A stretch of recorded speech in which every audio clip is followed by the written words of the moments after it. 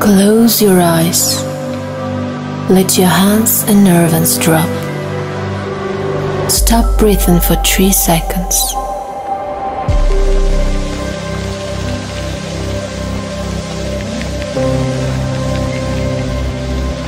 Listen to the silence inside the illusion of the world. And you will remember the lesson you forgot. It is all one vast awakened thing.